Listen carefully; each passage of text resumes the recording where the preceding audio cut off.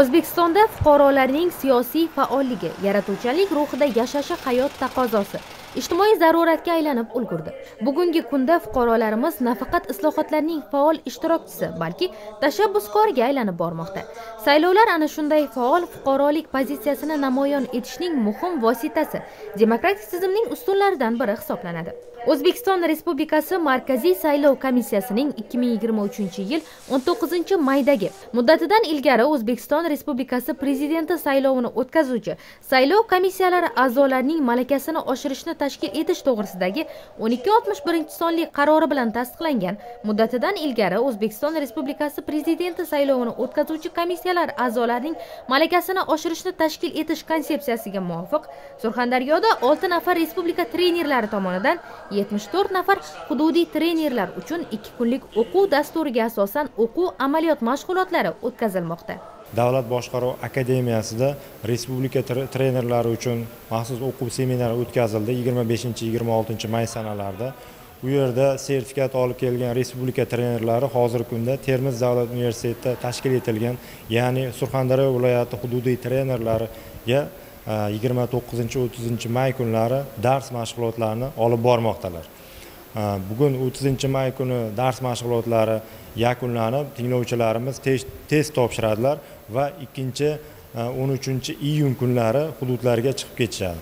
Va e, viloyatimizning barcha o'n to'rtta tuman shaharlariga e, biriktirilgan hududiy trenerlarimiz joylarga borib uchastka saylov komissiyasi raisi o'rinbosarlari va ularning kotiblariga dars mashg'ulotlarini o'quv seminarlarini olib boradilar. Va bu uchinchi bosqich bo'ladi va shundan keyin o'n to'rtinchi yigirma yettinchi iyun kunlari o'quv jarayonlarini to'rtinchi bosqichiga start beriladi va bu yerda uchastka saylov komissiyasi raisi e, o'rinbosarlari ularning a'zolariga dars mashg'ulotlarini o'tib boradilar. Bu o'quv jarayonlarini tashkil etilishidan eng asosiy maqsad shuki to'qqizinchi iyul kuni bo'lib o'tadigan prezident saylovlarini yuqori saviyada professional darajada jahon standartlariga mos va xos bo'lgan darajada o'tkazish hisoblanadi.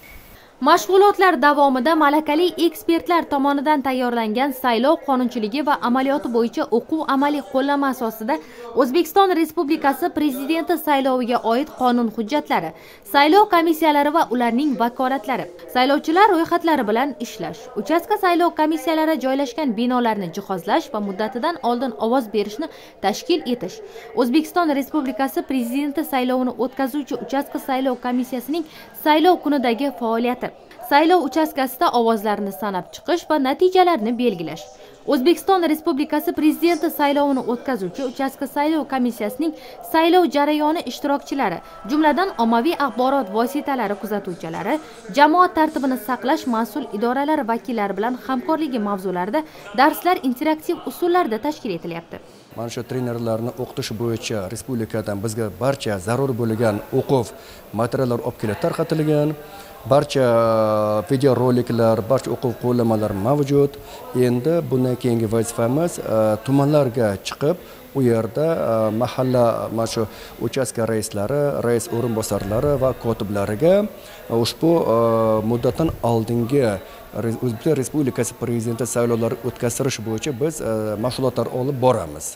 Ushbu seminar treningda hududiy trenerlarni e, o'sha markaz saylov komissiyasi qonunchilik hujjatlari o'zbekiston respublikasi konstitutsiyada ko'rsatilgan saylovga oid moddalar hamda e, saylov kodeksiga asoslangan bilimlarni yanada mustahkamlab saylov o'tkazilish kunida e, saylovlarning shaffof hamda huquqiy asoslarga asoslangan holda o'tkazilishini e, o'rganish asosiy maqsad qilib olingan. Ikki kunlik seminar yakunida tinglovchilarning treningdan olgan bilim va ko'nikmalari test orqali sinovdan o'tkaziladi. O'quv kurslarida mamlakatimizda amalga oshirilayotgan islohotlar mazmuni uning tashkiliy va huquqiy jihatlari saylov qonunchilik asoslariga alohida e'tibor qaratilmoqda.